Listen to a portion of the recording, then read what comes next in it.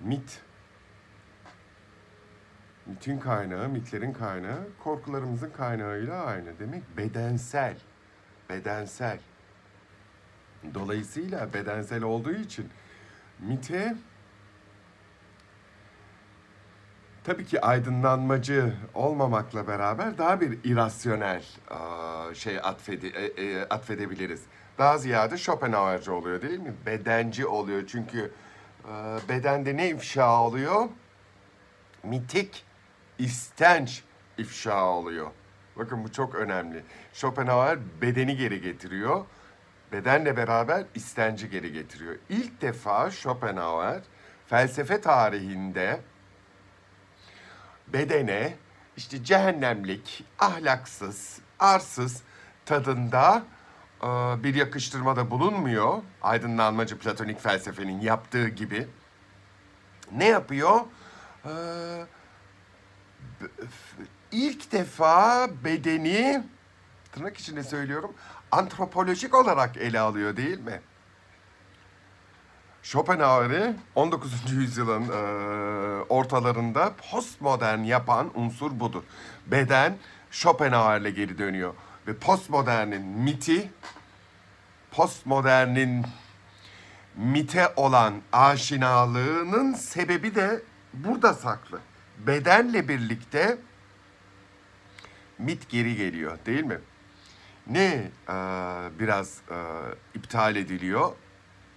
Us, us. Schopenhauer'le konuşmam gerekirse tasarım, tasarım değil mi? Ee, varoluşun korkunçluğunun üstüne atılan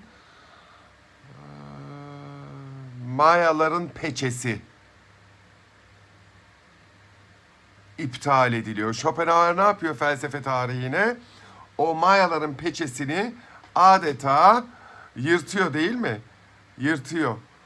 Neyi öğretiyor Schopenhauer? Son derece Hinduizm'de de olduğu gibi dünyanın aslında son derece kandırıkçı bir yer olduğunu ve dünyada ölümden başka her şeyin yalan olduğunu öğretiyor Schopenhauer. Dolayısıyla bu e, klasik platonik Bildung yukarı doğru giden çizgiyi Schopenhauer hadım ediyor. Aşağı doğru bile gitmiyor. Ne yapıyor biliyor musunuz? Çemberleştiriyor. Çemberleştiriyor. İşte o o o çemberleştirme Schopenhauer'ı nünksansa, durağan şimdiye götürecek. Durağan şimdiye gittiğiniz zaman prensipler hiç değişmez. Prensipler hep aynıdır. Değişiklikler kantitatif olur. Ne olur? Ee, Şöyle olur değişiklikler. Yani evet e, bir zamanda uçağa binersiniz. Bir zamanda tekerlek bile daha icat edilmemiştir değil mi? Ama her halükarda sevişirsiniz, yemek yersiniz, e, su içersiniz, boşalırsınız ve seks yaparsınız değil mi üremek için? Schopenhauer'in e, mihenk taşları bunlar. Gelişim değil.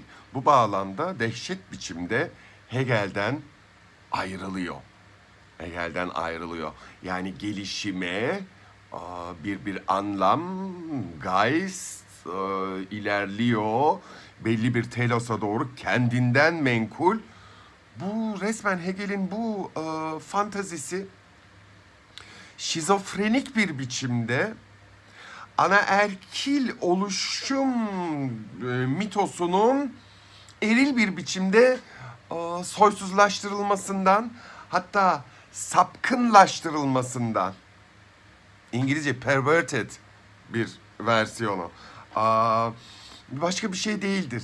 Kendinden menkul dünya geistı bir yere il... Schopenhauer'a gö- göre bu şeydir. Söyleyin ismini.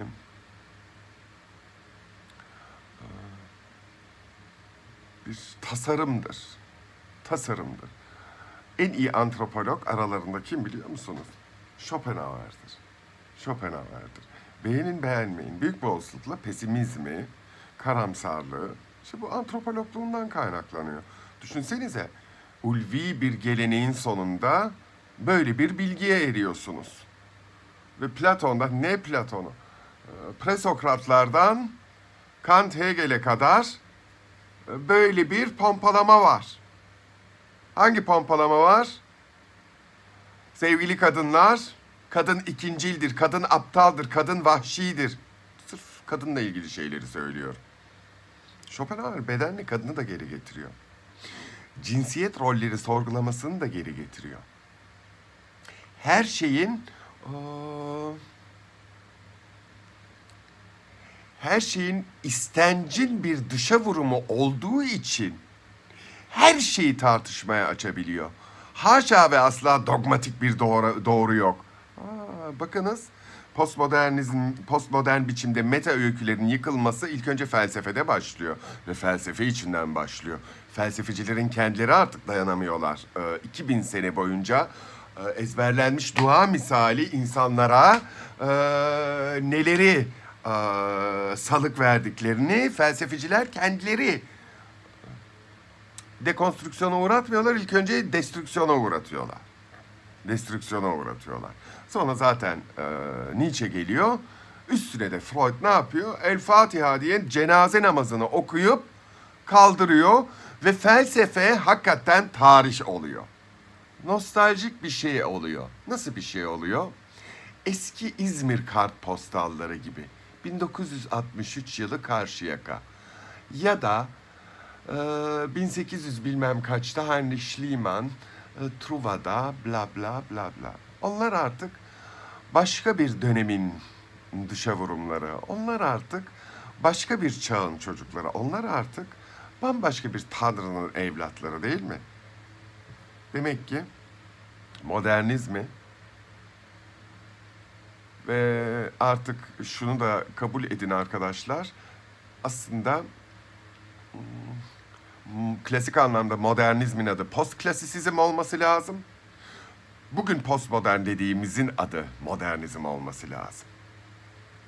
Çünkü modernizm şu anki postmodernizmin gerçekten bir hazırlık safhasından başka hiçbir şey değil. Modernizmde daha e, şeyi görüyoruz.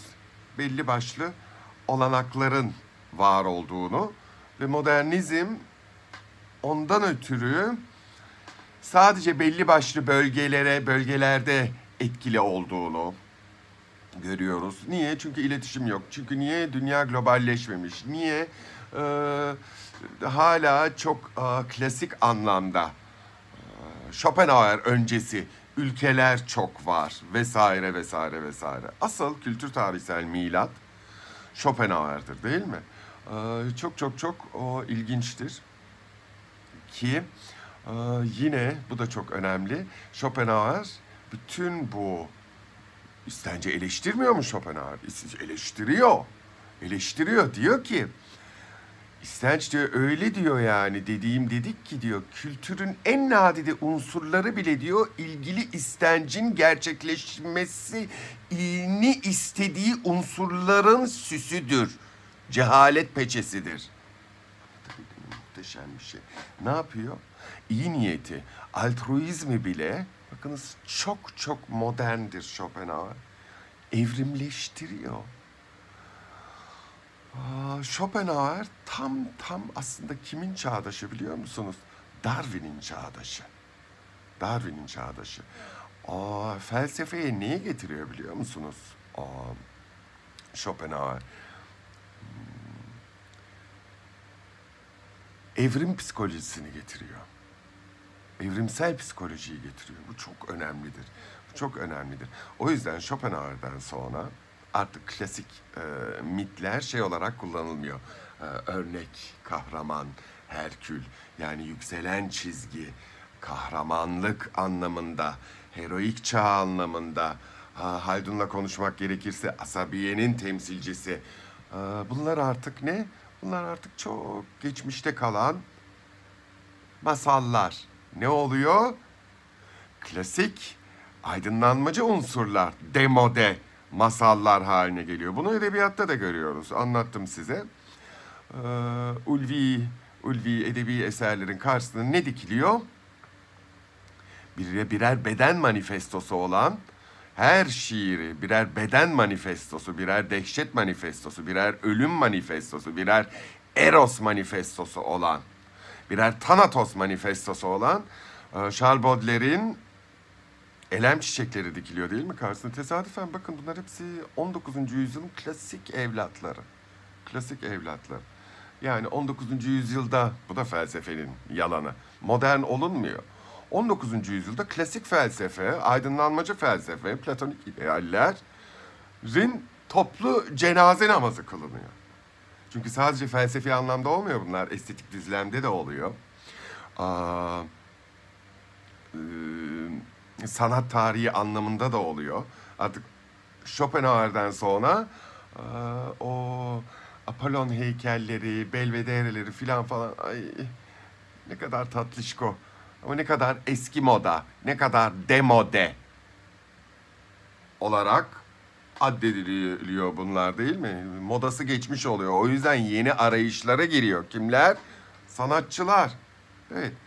Bedenin dönüşü demek bütün bunlar bunlar içkin bedenin dönüşüne. Beden döndüğü zaman ondan sonra üstüne Nietzsche Tanrı'yı öldürdüğü zaman bunun üstüne Freud idi keşfettiği zaman tabii ki eski tasarımlar için konuşuyorum.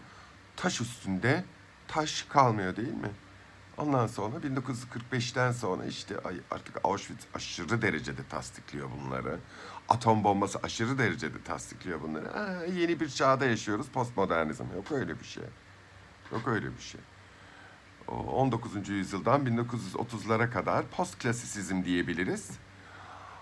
Ondan sonra modernizm diye bir şey yok. Doğrudan o postklasisizm romantizmin bir tümör gibi bütün dünya kültürünü eee, gayet eee, anlamlı bir silsilede sarmasıyla beraber dünya ne oluyor? Postmodern oluyor. Değil mi? Postklasisizmden sonra modern oluyor aslında. O yüzden postmodernin kendine has ismi yok. Postmoderni hafifletiyorlar modern sonrası demekle. Modern sonrası değil postmodernizm. Modern sonrası değil. Modernizmin gayet mantıklı bir biçimde günümüz olanaklarıyla devam etmesi ve belli başlı sosyoekonomik, e, sosyal psikolojik, psikohistorik ve e, psikanalitik açıdan belli bir e, etkiye, etkilere sebebiyet vermesi değil mi? O yüzden mitolojik olarak konuşursak sadece it gelmiyor, sadece beden gelmiyor. Nietzsche'nin meşhur düsturu bir e, öngörü misali postmodernizm dediği denilen ama bana göre postklasisizmin devamı olan e, modernizmin e, iç- için öngörüsü gerçekleşmiş oluyor. Ne diyor Nietzsche? Bir gün gelecek Apolonik dediğimiz bütün her şey asla ve haşa kandırılamaz. Hakim Dionysos tarafından un ufak edilecektir. O kandırılamaz hakim Dionysos işte e, Schopenhauer'ın istenci. İstenci. Nasıl un ufak edecek? Diyecek ki Apollon'a Dionysos. Bebeğim ya. Bu kadar bana da mı caka satıyorsun? Bütün bu senin yaptıklarını ben sana yaptırtıyorum. Amaçlarıma ulaşmak için. Korkunç aydınlanma, aşağıladığı mitosun korkunç ince kıyılmış Viktoryen çağlarına parmak e, çağlara parmak ısıracak bir entrikayla aydınlanmayı yerle bir ediyor değil mi? Diyor ki aynaya bak. Çirkin olan Dorian Gray sensin. Hep güzel olacak olan, hep arzu duyulacak olan benim diyor. Kim diyor bunu kime? Dionysos bunu Apollon'a diyor. Demek ki ilk dekonstrüksiyonu kültür kuramsal açıdan kim kime yapıyor? Dionysos Apollon'a yapıyor. Yani Nietzsche Platon'a yapıyor. Yani Schopenhauer Hegel'e yapıyor. Yani Freud kime yapıyor? Freud Sofokles'e yapıyor. Değil mi?